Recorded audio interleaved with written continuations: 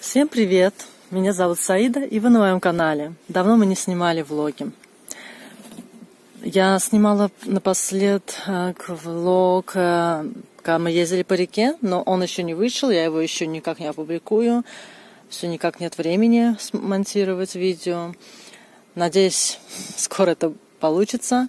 Сегодня 11 августа, и у меня вот такое вот задание – стерилизовать огурцы на зиму.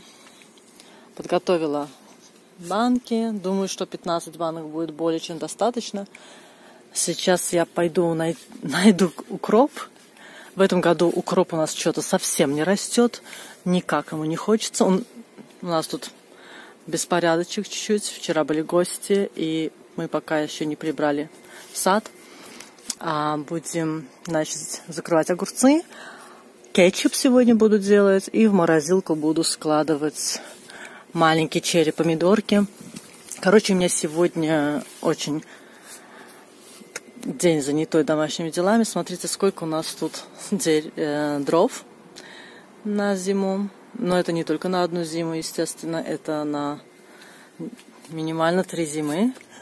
Хотя мы отапливаем электрическими панелями, такими специальными отоплениями, но Иногда балуемся чисто для уюта, чисто для прикола. Мы вот а, дровами топим. Иногда это уютно. Мне нравится, особенно когда Рождество. Посмотрим, если найду укроп. В этом году, говорю, укроп вообще не хочет ни в какую расти. Муж его уже несколько раз э, сеял, и все равно ни в какую. Так что у меня в морозилке есть чуть-чуть укроп, нарезанный с прошлого года, и, наверное, я для огурцов буду использовать именно этот замороженный укроп. Тут у нас слива, как вы видите. В этом году, ну, очень мало сливы. Обычно каждые три года наша слива просто бывает обсыпана просто. Но в этом году мало. Это, видно, на следующий год силы бережет. Смотрите, они какие-то все такие и, их мало, и они все какие-то больные, все с какими-то червями. Ну, короче, не густо. Буду делать кетчуп из больших помидорок. Покажу вам рецептик от, от моей подруги. Пользуюсь этим рецептом. А рецепт на закрывание, на закрутки огурцов покажу тоже. Покажу, что используют в Чехии для стерилизации, для консервирования огурцов в уксусе. Э, какие именно здесь для этого продаются, как сказать, приправы, смеси специальные. Ну все, посмотрим, что получится с нашего, с нашего влога, потому что я давно не снимала, у меня язык уже русский забывается, и мне нужно как бы хотя бы во влогах с вами разговаривать. Красота, да? Очень. В этом году вот именно вот этот, я не знаю, по-русски я забыла, как он называется – уже забыла. По-чешски и бишек. Классный. Очень красивый, но уже что-то завяло, а что-то, какие-то новые бутоны открываются. Видите, как они падают? Только тронешь уже падают. Смотрите, какой огромный тут. Видите, как он летает? Где он? Попадет в камеру? Огромные шмели, шмели такие летают. Очень много ос и пчелок. Вот на здесь тоже, на сливе. Так что будем снимать. Итак, хотела вам показать, как здесь э, закрывают огурцы. Здесь используют вот такой зноемский уксус 8%. Видите, прям огурчик, укропчик нарисован. А потом используется сахарин. Маленькие такие таблеточки. Здесь в основном 100 штук в упаковке. Но у меня вот осталось уже меньше с позапрошлого сезона. И вот такая вот смесь от Бенкор, Нова называется, для огурцов. Что здесь в составе? Здесь 22% эм, соль, потом сахар есть, лавровый лист, горчица белая, гвоздика, укроп, кориандр, э, перец и тимьян и, я забыла, душистый перец. Черный перец, душистый перец. Значит, по рецепту моей свекрови, ну, в принципе, этот рецепт передается с поколения в поколение, на 250 миллилитров вот этого уксуса, 750 миллилитров воды и одна упаковка вот этой смеси и 4 штучки сахарина. Значит, доводится до кипения, но если вам нужно больше, чем 1 литр рассола, то надо, конечно, побольше. Например, сегодня я сделаю с трех пакетов, значит, у меня 750 миллилитров этого и сколько там, почти 20 чем-то литра, это значит, короче, воды. И у меня побольше где-то 12 штучек сахарина в одну большую кастрюлю. Все рассол приготовлю, доведу до кипения, закину сахарин, вначале доводим до кипения все вот это закидываем сахарин и наливаем, разливаем огурцы, э, с рассолом наливаем, закрываем крышки хорошенько, вот такой штучкой, ну такая штучка. И все, и в стерилизатор стерилизуем 20 минут при температуре 80 градусов. И все, и курочки будут на зиму готовы. Все, пошла заниматься своими огурцами, потому что я уже банки наполнила огурцами получилось пока 13,5 а, банок. Мне нужно поехать к свекрови и, может быть, там еще какие-то огурчики на грядках есть, чтобы дополнить до 15 банок, потому что я их уже подготовила, укропчик туда положила. Хочу все-таки этих 15 банок доделать до конца. Раз уже у меня план такой, то значит будем действовать по плану. Итак, сегодня уже среда. И огурцы я закрыла. Даже кетчуп сегодня закрылась, успела. Наверное, штук сколько банок у меня получилось? Не знаю, семь что ли. Даже не посчитала еще. У нас очень даже жарко. Сегодня ходила по магазинам чуть-чуть, по делам. Аделка у нас тут купается в бассейне. А я хотела что-то показать. Я купила кое-какие себе. Как косметику. Это такие девчачьи дела такой карандаш для тени. Тени. Сейчас я постараюсь поставить телефон, чтобы, чтобы показать вам. Красивый цвет. Если вы видите. Там. Ну, он такой с этими... Спир... Ну, я уже забыла, как это называется по-русски. Короче, это от фирмы Ruby Rose с глиттером, с глиттером. И потом еще кое-какой цвет. Я люблю вот такие вот тени, которые как карандаш всовываются, не нужно ничего точить. Такой песочный золотистый цвет. Я думаю, что у меня были подобные оттенки, просто закончились. И еще вот такой красивый бронзовый цвет. Надеюсь, что видно. Я не знаю, если хорошо видно. На солнце слишком. Далее. Вообще-то я в магазин шла зачем? У меня закончился черный карандаш для глаз. Но вот именно я хотела вот который не точишь, а точилка, а вот именно такой, который высовывается. Такой грифель там черный. Обычный черный карандаш. И шла я купить только его вообще-то. Но, как всегда, когда женщина идет покупать себе косметику, подожди, то на одной вещи она не останавливается, обязательно нужно что-то купить еще. И две вот такие, два блеска червяные, э, червяные, извиняюсь, красный цвет, красный оттенок. Он не слишком красный, он такой малиновый. Сегодня, кстати, вот сейчас мы собираемся идти к свекрови в гости на кофе. И я, конечно, сейчас что-то из этого себе нанесу, потому что я с утра еще не красилась сегодня. И, и вот такой вот нежный цвет тоже. Это от фирмы, не знаю, как называется. Мое, Може, Мое. Мне кажется, это чешская фирма просто. Такая штучка. Ты тоже хочешь? Аделка тоже хочет, чтобы ей а что это на губы, Аделка? Это, не, это я просто показываю здесь. Это потом. Аделка хочет тоже всем этим сразу накраситься. Сразу ты все накрашу. И все сразу, понимаешь? Не все это... тени, все карандаши, все сразу на себя накрасим. Все, мы пошли подготавливаться к выходу, чуть подкрасимся. И потом я вам покажу еще, какие книжки я купила за этот месяц. Очень интересные книжки. Правда, на чешском языке, но А, и переводов многих из них, конечно, на русском нет вообще, потому что это чешские авторы, и их еще на русский язык никто не переводил. Все за связи. Итак, мы уже идем, прогуливаясь к свекры свекрови, значит, к ним домой на кофе. Надеюсь, что они дома. Мы всегда так выходим. Ну, обычно они вечером бывают дома. А сейчас сколько сейчас? Это 6 часов вечера. Может, даже уже больше. Не знаю. А, у меня что часы есть. 7, говорю, 6. Адела, осторожно поворачивай. Так. 7 часов вечера. Шестерочка автобус тут проезжает. Потому что... Идем. Главное, основная дорога ремонтируется. Ой, как машина. Основная дорога ремонтируется, и поэтому автобусы и кое-какие машины проезжают вот по этой небольшой улице.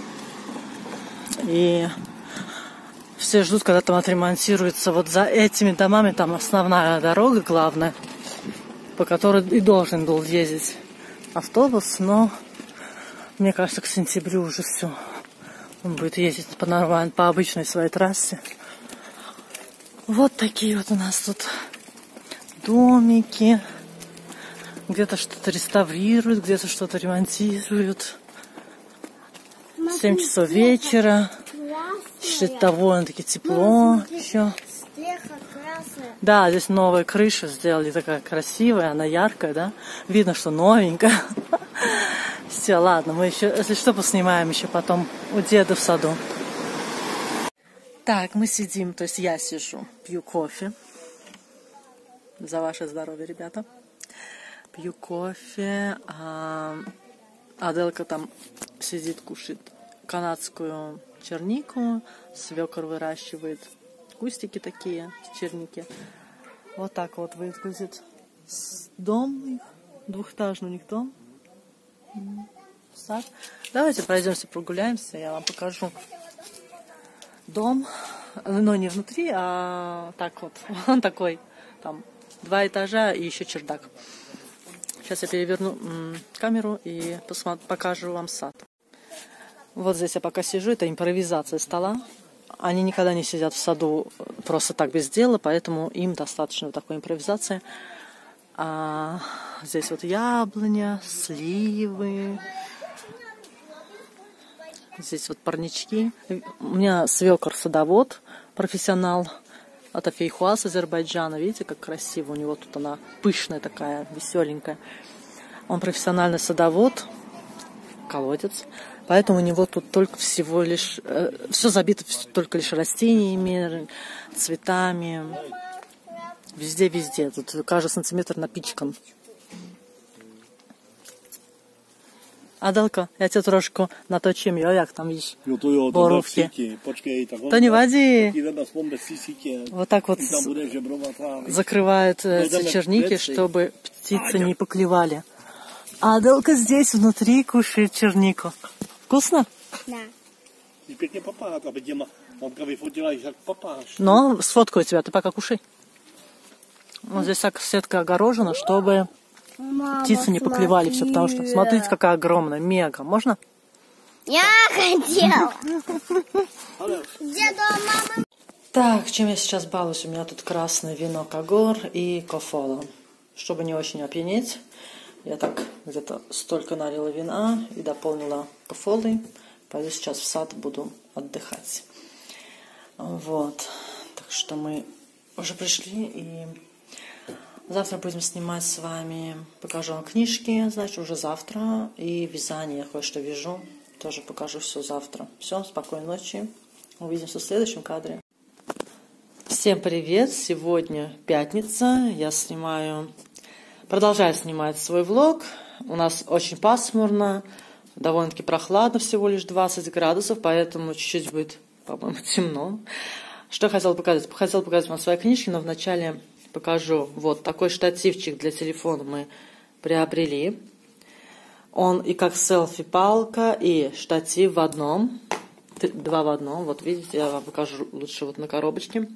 Это Huawei Tripod Selfie Stick. Вот. Если сюда вот между такими зажимами поставить телефон, то можно вытянуть в длину будет как селфи-палка или поставить на ножки и получится штативчик. Ножички у него вот такие тут открываются.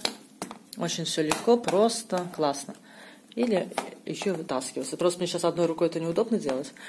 А вот сюда эти зажимы вытаскиваются, открываются, и ты можешь смотреть.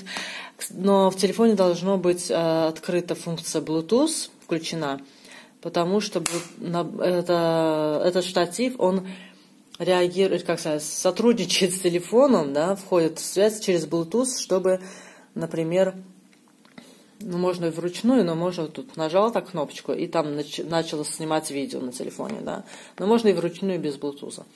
То есть нажимать постоянно кнопочку на э, самом телефоне.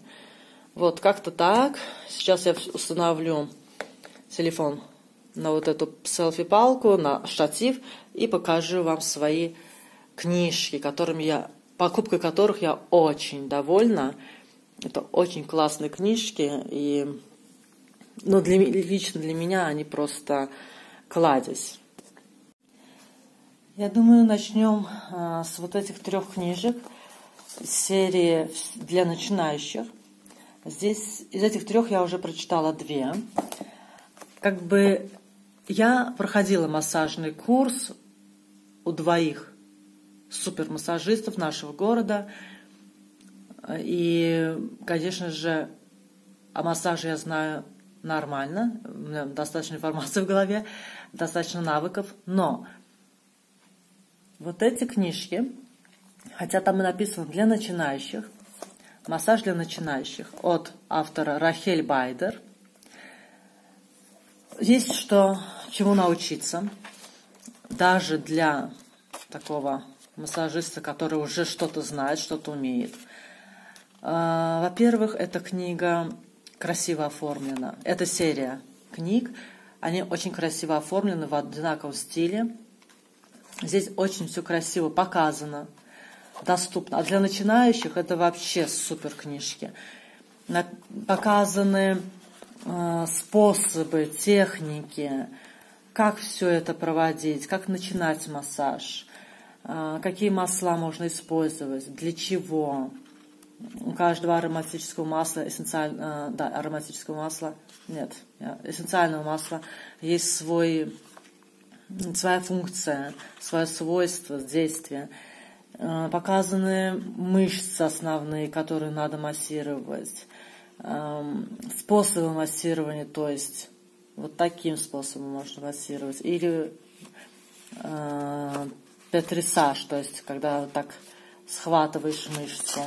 Далее глубокое проникновение, менее глубокое проникновение, постукиваниями, потом э, массаж определенных точек, э, trigger points, здесь это называется trigger points, э, места, которые особо ответственно отвечают за то, что у нас возникают боли в спине, в пояснице, в ногах. Вот такие узлы образуются. Но это чисто образно так нарисовано.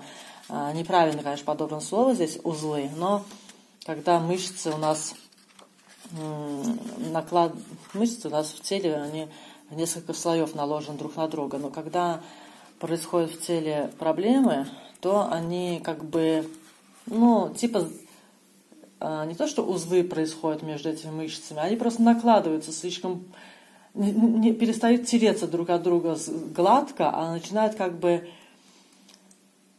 а, ну, образуются такие точки, а, в которых эти мышцы просто цепляются вместе и не происходит должного трения между ними.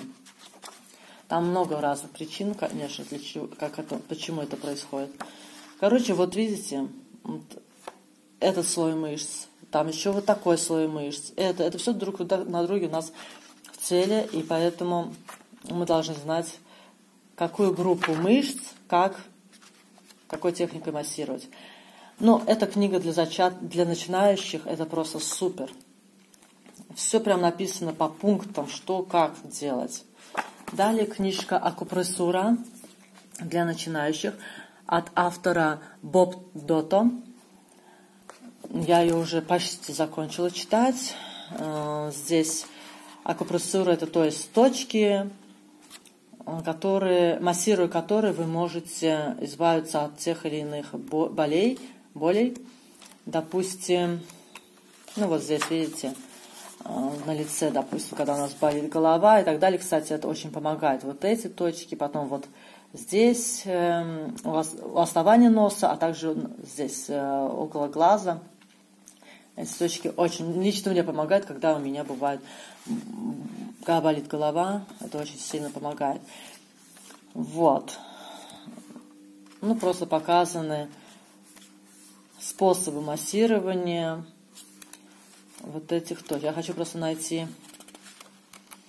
Я хочу найти просто вот здесь показывают например, меридианы, меридианы, которые связывают между собой эти определенные точки. Есть меридианы печени, меридианы сердца, меридианы там почек. На каждом меридиане находятся определенные точки, да, э, то есть меридианы связывают между собой точки, как дороги. Массируя определенную группу точек, вы можете облегчить себе боль или даже избавиться от каких-то определенных проблем. Мелких, конечно, не каких-то таких сильных, серьезных, но массаж, конечно, очень помогает при лечении. Это один из действующих способов, действенных способов. И в Китае он очень сильно распространен, как ну, не только для профилактики болезней, но и при лечении определенных болезней. Далее, рефлексология. Вот если здесь в акупунктуре для начинающих, э, акупунктуре, акупрессуре было показаны точки по всему телу, видите, по всему телу, то в рефлексологии для начинающих здесь именно в основном показаны точки на наших подошвах, на наших ногах. Также эти точки можно изучать и на руке, как внутренней, так и внешней э, стороне. И, как вы, может быть, кто-то знает, что каждая область на подошве, она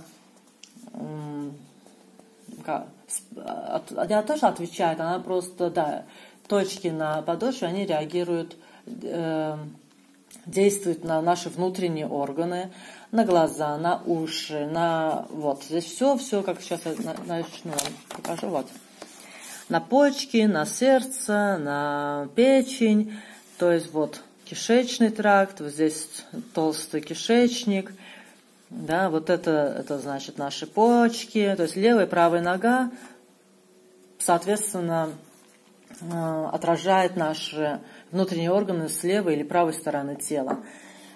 Вот сердце находится здесь, сердечная зона, зубы, глаза, все. Вот здесь очень доступно все нарисовано, то есть человек сразу может, у кого фотографическая память, могут так посмотреть пару раз, они уже будут знать, где что у них, где что массировать. Ну, это очень классная книжка тоже. Также позвоночник, видите, внутренняя часть подошвы, э, да, внутренняя часть именно, здесь вот этот наш позвоночник отображается, да, как бы и массируя определенную часть ноги, вы можете помочь своему телу справляться, во всяком случае, с болью, большими болями. Вот это такая серия книжек. Далее я приобрела книжку «Массаж с быстрым эффектом». Это техника массажа йоя. Надеюсь, я правильно читаю йоя, да. Это такая штучка деревянная, кругленькая, вот такая. А, это из любого дерева она делается, ну, там, из трех-четырех видов. А также внутрь вставляется драгоценный камень какой-то или минерал в форме вот такой вот такого круга, эм, как сказать, да, круг, и массируется тело. Как видите, руки можно массировать, также подошвы, все тело массируется вот таким вот приспособлением йоя. И да, набор этот можно приобрести, например, чисто для себя или для лечебных целей, как массажисту профессиональному. И тоже можно массировать не руками конкретно, а вот этой штучкой такой. там, в зависимости от того, как вы хотите, какой эффект еще, чтобы был, так э, используются раз, различные минералы, не только один и тот же. Сейчас я посмотрю. Э, здесь есть, здесь была информация об этом. Вот, есть эти комплекты можно приобрести и массирую на здоровье. Э, вот, видите, они, это, это запатентованное приспособление придумал а, по-моему, вот этот, сейчас посмотрю,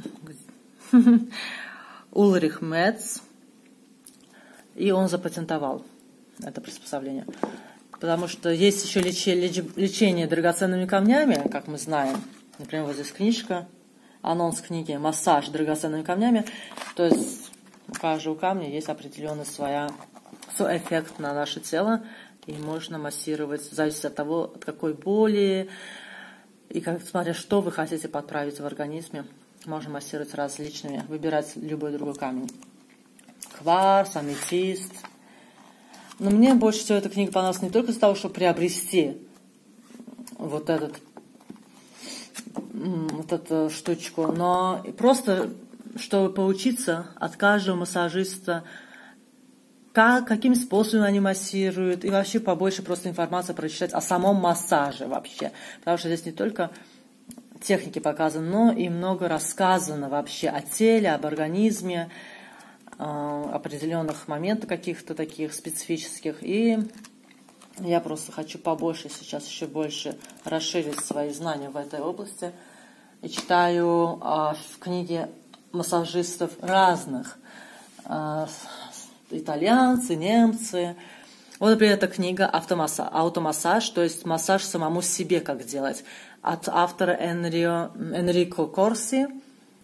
И книга просто супер. Я еще ее только лишь пару раз просматривала, но это просто класс. Это насто... считаешь настольная книга. Потому что, допустим, а, здесь все показано не только потому какие точки массировать. Например, боль, э, боли в зубах, да? Зубная боль, то есть. Зубная боль, здесь показано, что массируют не только на лице, но и, например, вот точки, видите, вот эти точки. А также показаны какие-то определенные гимнастики, определенные какие-то э, моменты, которые бы очень помогли при той или иной боли какие-то э, вот такие э, упражнения для, например, упражнения от боли в горле. Муж говорит, что да, когда он занимался йогой, тоже это упражнение было в их обучении. Боли желудка, боли в желудках, допустим, и так далее. То есть книжка такая наглядное пособие, так скажем.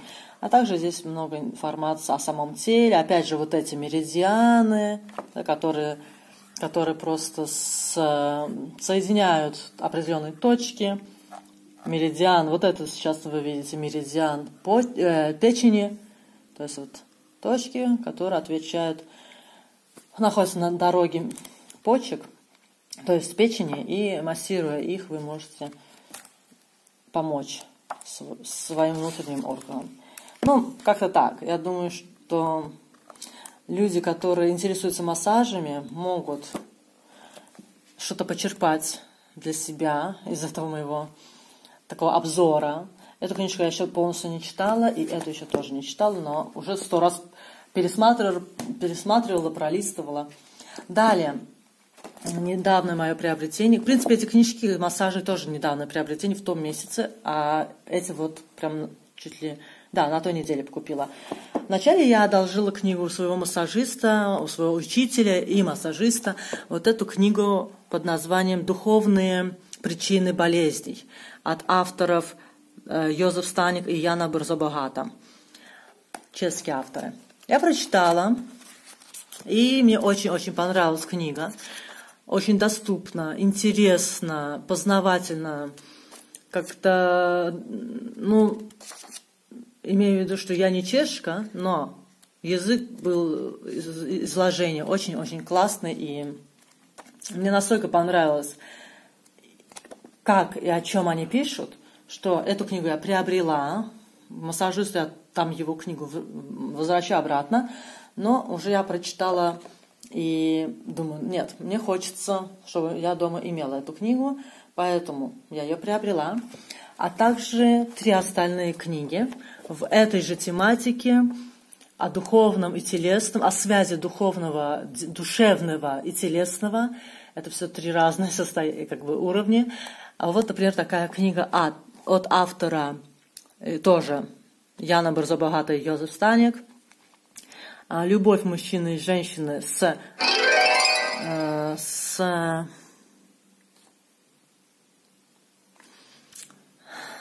Знаете, тут телефон пикает со взгляда или с стороны духовных душевных сил, открытие духовного ока, глаза, то есть, и еще книжка «Человек как многоуровневое э, существо». Буду все читать, буду вас держать в курсе. В основном на Инстаграме я публикую такие короткие постики от, от тех книжек, которые я читаю. У меня на телефоне заканчивается память, мне нужно срочно почистить, и будем снимать дальше. Ну, в принципе, я уже книжки вам показала, об этом мы потом будем говорить, допустим, по мере того, как я буду читать эти книжки или покупать, приобретать какие-то новые книжки в этом направлении. И о массажах, конечно же, я буду приобретать, читать или одалживать книжку, брать из библиотеки, или у массажиста брать какие-то книги, потому что у него там несколько полочек э, с книжками о массаже, а не только о массаже, как бы в основном обо всем, что связано э, со здоровьем человека.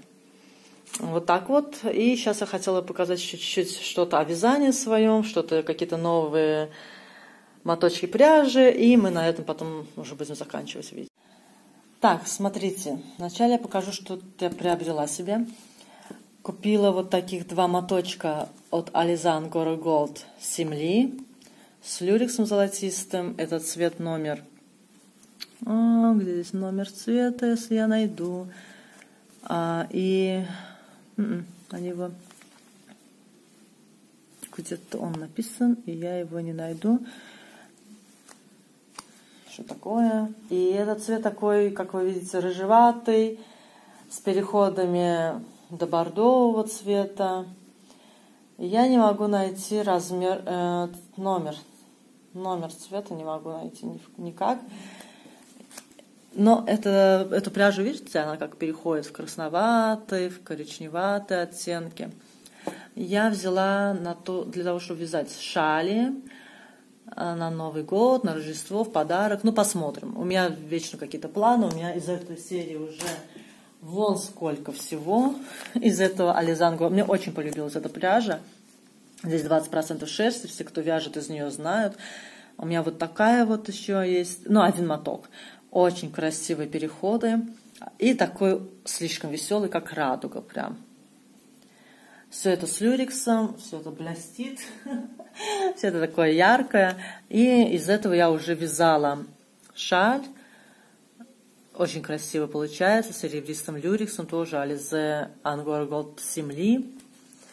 Мне нравится с люрексом, мне нравится, чтобы вещь была, тем более шали, чтобы они были яркие, нарядные. Так что у меня тут как бы целая такая мини-коллекция этой пряжи. А еще у меня был такой моток, может быть, я в каком-то видео уже показывала, от картопу, матрешка. А, вот, матрешка. И здесь 200 граммов, 820 метров. Этот номер цвета Х2136, или как сказать это, такой вот лот К486.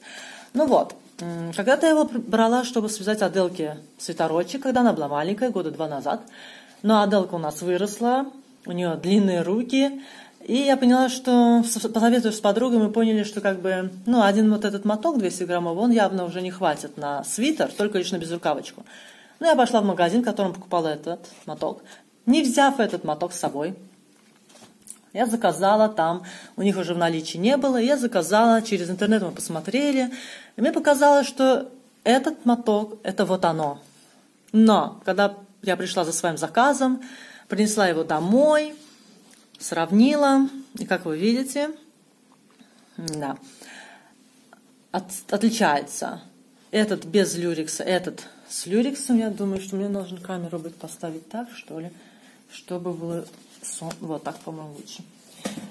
И теперь я думаю, что же с этим делать. Посоветуешься опять же, но в этот раз уже с мамой. И мы пришли к выводу, что свитеру быть для Аделки. Видите, какой там мелкий такой люрикс. Но будет вот так, например, тушка свитера будет одним цветом, вот, например, вот это, все, допустим. А рукава, горло и резиночка внизу, внизу свитера, вот будет этим цветом. Или наоборот. То есть эти два цвета, они будут в свитере присутствовать, и один другой не будет слишком, как сказать, ну не будут они смотреться плохо вместе, только главное, чтобы тушку одним цветом связать, а рукава другим цветом, и будет окей. Но я горло, если даже буду вязать горло, вряд ли буду вязать э, как у водолазки горло. Я буду вязать такую микростоечку, такую, может быть, или вообще V-образный горло, V-образное горло сделаю, и все. Посмотрим, горловину. Вот так. Это у меня такой казус произошел, что я не, ну, не попала в цвет Далее я приобрела таких четыре моточка катка. Это, сейчас скажу, это полухлопок, что ли, или хлопок. А, это стопроцентный хлопок мерсеризированный. А, моточек в моточке 20, 75 граммов. 250 метров, 75 граммов в одном моточке. У меня их четыре. Я думала изначально связать отделки платьишком, только лишь этим цветом. Но потом я по запросу Аделки. Начала вязать ей юбку. Но это уже будет не юбка, это уже будет платье. У меня, как всегда. Вот из такой пряжи. Из нее я уже вязала племяннице а, топ с цветочками, плечики в виде цветочков. Вы, может быть, помните. А, я показывала точно в своем видео когда-то. В том году это было. Из такой вот пряжи. И у меня два таких моточка. Один вот уже я начала снизу вязать, так как я думала, что это будет юбка. Но сейчас я подумала, думаю, что это не будет юбка, это будет полноценное платьишко с коротким рукавом. Ну или как бы сарафан, в том плане, что наверху будут бретельки просто, может быть, широкие бретельки. Посмотрим. Я начала снизу, это спица номер 4. И у меня еще чуть-чуть и закончится моточек. У меня есть еще один такой моток, то есть подол платья, низ платья, то есть юбка платья будет вот только из этой пряжи, то есть еще один моток я свяжу. А потом, когда я начну уже, эту юбка же широкая, видите, она какая, даже в кадр не вмещается, она широкая. Я буду делать убавление ближе к, уже там к талии, да, буду делать убавление на пояс, и вся остальная часть, то есть верхняя часть платья, там, где топ, да, как бы должен быть, том, там, где спина, э, это все будет вот из этой пряжи связано. Мне кажется, что будет очень красиво, если юбка платья будет вот такая вся пестрая, яркая, и верх платья сарафана будет чисто в таком нежно-розовом цвете, потому что здесь этот розовый цвет присутствует, но он более насыщенный здесь, такой чуть другой оттенок. Но, в принципе, это не так слишком отличается. И верх платья будет вот таким. А еще по низу платья, по запросу Аделки, я хочу пустить э, много-много всяких вот этих, как это сказать, а, ниточек таких, да, из этой же пряжи, все, что останется у меня остатки, потому что Аделка хочет платье или юбку, как у Шакиры, она называет это Шакира, чтобы, когда танцуешь, чтобы вот это все так тряслось красиво, и она называет это свое платье, юбку называют Шакирой. Она сейчас в последнее время что-то совсем запала на Шакиру, она вечно слушает ее песенки, танцует под, эту, под ее песни, и все время хочет, чтобы у нее вот была какая-то юбка с такими вот, э, ну, по-чешски это трясные, я забыла, как это называется по-русски, но вы меня поняли. И по низу юбки я пущу много-много всяких вот этих ниточек, украшений, может быть, бисером еще украшу каждую ниточку или через ниточку, то есть по, по подолу юбки я сюда вот вцеплю такие вот эти, допустим, вот эта юб, ниточка будет, допустим. И, может быть, какие-то бисерки, чтобы это блестело чуть-чуть. Посмотрим. Что-то нарядное, красивое, такое неординарное я сделаю. Она у нас любит все яркое, необычное и не стесняется носить что-то такое экстравагантное. Так что мне можно будет пофантазировать. Вот, в принципе, и все, что у меня о вязании.